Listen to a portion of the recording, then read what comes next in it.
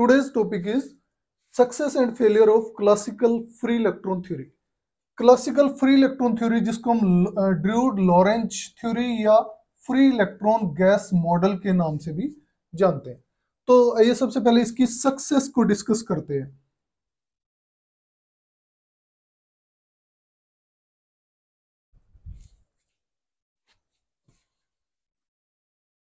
Number one is it could explain the electrical conductivity of metals. Number two is it could explain the thermal conductivity of metals. Number three point पे आने से पहले मैं थोड़ा सा explain करूँगा आपको फ्री इलेक्ट्रॉन थ्योरी ने क्या ज्यूम किया कि मेटल्स में जो वैलेंस इलेक्ट्रॉन होते हैं they are termed as free electrons और वो free electron they will behave like atoms और molecule of a perfect gas. और उनका मोशन कैसा होगा? Motion their motion is random. लेकिन इलेक्ट्रिक फ़ील्ड जब अप्लाई करेंगे हम तो इलेक्ट्रिक फ़ील्ड अप्लाई करने की वजह से जो इलेक्ट्रॉन होंगे दे विल गेट एक्सलेटेड जब एक्सलेशन होगी उनकी तो इनडेफिनेट एक्सलेशन को रोकने के लिए, ताकि उनकी एक्सलेशन जो है वो इनडेफिनेट ना हो जाए, उसको रोकने के लिए क्या जूम किया यहाँ पे? कि इलेक्ट्रॉन का कोलिजन हो रहा है पॉजिटिव आयंस के साथ, जो मेटल में पॉजिटिव आयंस है, फिक्स पॉजिटिव आयन है, उनके साथ इनका कोलिजन होगा। कैसा कोलिजन होगा? इलास्टिक। इलास्टिक कोलिजन होगा। उसकी वजह से क्या होगा इसमें? जो करंट प्रोड्यूस होगा that will be steady current और वो स्टडी करंट जो होगा that will be directly proportional to voltage applied या फ़ील्ड अप्लाइड, जो इलेक्ट्रिक फ़ील्ड हमने अप्लाई किया, उसके डायरेक्टली प्रोपोर्शनल होगा, जो करंट होगा। तो यहाँ से जो V आएगा आपका, V should be I R Ohm's law को यहाँ फॉलो करेगा। ओके सो थर्ड इसका पॉइंट है it could verify verify Ohm's law Now, fourth point is it could derive या explain the Weidmann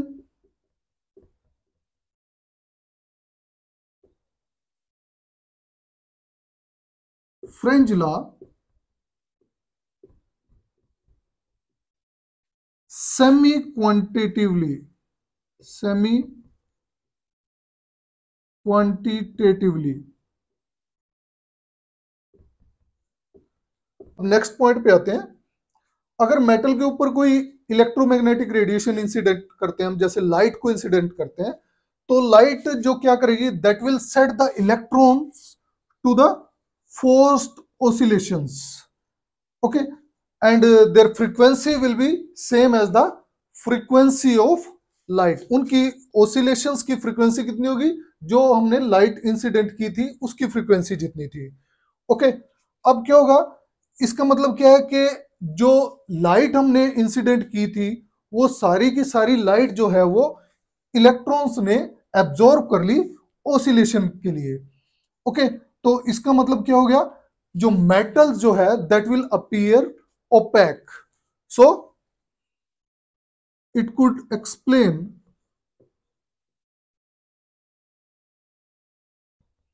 the opacity of metals.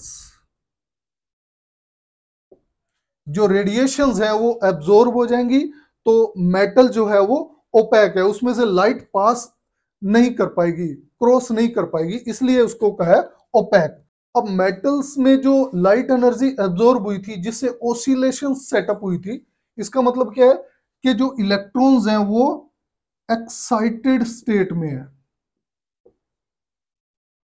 जब वो अपनी initial state में आएँगे नॉर्मल स्टेट में आएँगे तो क्या होगा? जो लाइट यहाँ एब्जॉर्ब की थी, वो लाइट यहाँ वो रिलीज़ कर देंगे एमिट कर देंगे। ओके लाइट एमिट होगी लाइट एनर्जी और वो जो उसने लाइट एब्जॉर्ब की थी सारी की सारी, वो यहाँ एमिट होगी अब वो लाइट जो एमिट होगी that will be in all direction लेकिन जो सरफेस की तरफ़ होगी मेटल की, वहाँ से वो लाइट बाहर आ जाएगी, जो सरफेस की डायरेक्शन की तरफ़ आएगी। ओके अब इस केस में जो होगा, जो मेटल जो होगा that will reflect back energy so it could explain the metallic luster metallic luster को एक्सप्लेन कर पाया था। ओके तो यहाँ से हम एक बार और गो थ्रू हो जाते हैं। ये सारी इसकी सक्सेस स्टोरी है कि इलेक्ट्रिकल कंडक्टिविटी को एक्सप्लेन कर पाया था मेटल्स की थर्मल कंडक्टिविटी को एक्सप्लेन कर पाया था। It could verify Ohm's law it could derive the Weidmann-French semi quantitatively Lorenz number में कुछ डिस्क्रिपेंसी आई थी जो क्वांटम कंसेप्ट लगा के बाद में एक्सप्लेन की थी। ये इसकी लिमिटेशन में भी आएगा। It could explain the opacity of metals it could explain the metallic luster ये दोनों प्रॉपर्टीज़ जो हैं, ये ऑप्टिकल प्रॉपर्टीज़ में आती है। Optical property So it could also explain the optical properties of metals. तो ये सारी सक्सेस थी फ्री इलेक्ट्रॉन थ्योरी की classical theory of free electron की अब हम आ जाते हैं इसकी फेलियर या लिमिटेशंस पे so first one is it could not explain the discrepancy in theoretical and experimental value of electronic specific heat जो इलेक्ट्रॉनिक स्पेसिफिक हीट की ऑब्ज़र्व और प्रिडिक्टेड वैल्यूज़ थी, उन दोनों में जो डिस्क्रिपेंसी थी, उन दोनों में जो मिसमैच था, उसको ये थ्योरी एक्सप्लेन नहीं कर पाई थी। According to classical theory each electron has magnetic moment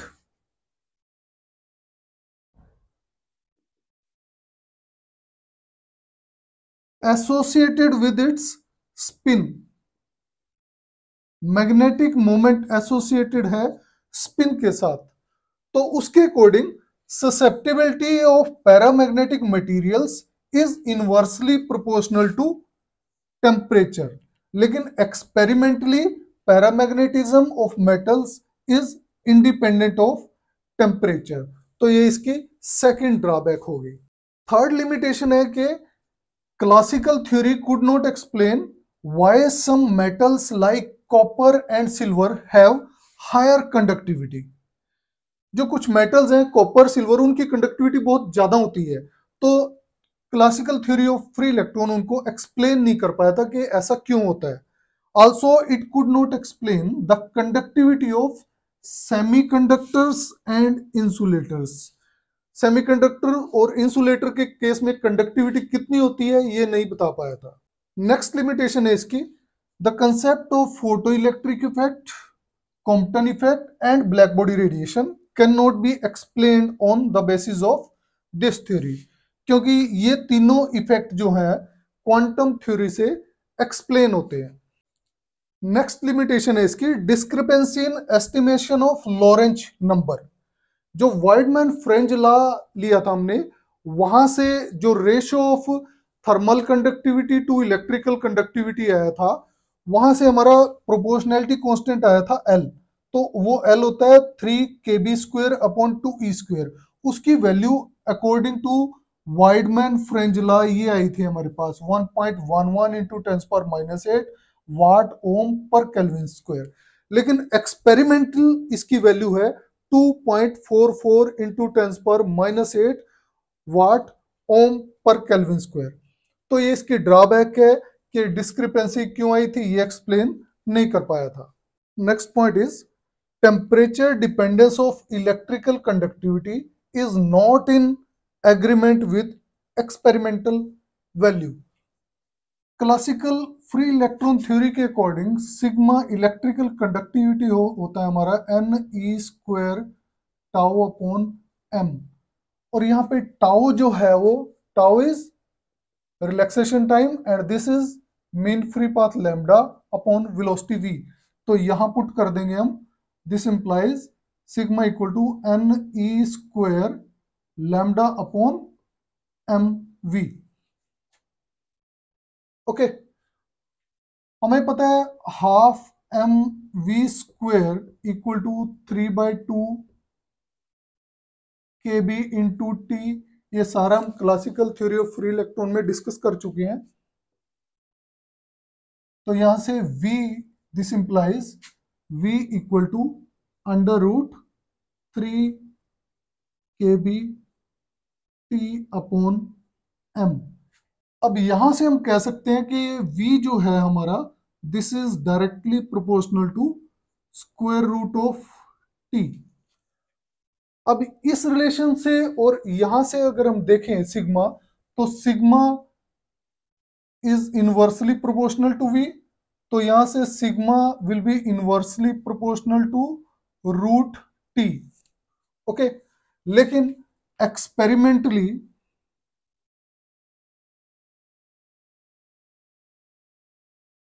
sigma जो है that is inversely proportional to T अब ये जो डिस्क्रिपेंसी आई जो dependence of electrical conductivity on temperature है, ये जो लास्ट पॉइंट मैंने बताया था, ये एक्सप्लेन नहीं कर पाया था कि क्यों ऐसी डिस्क्रिपेंसी है।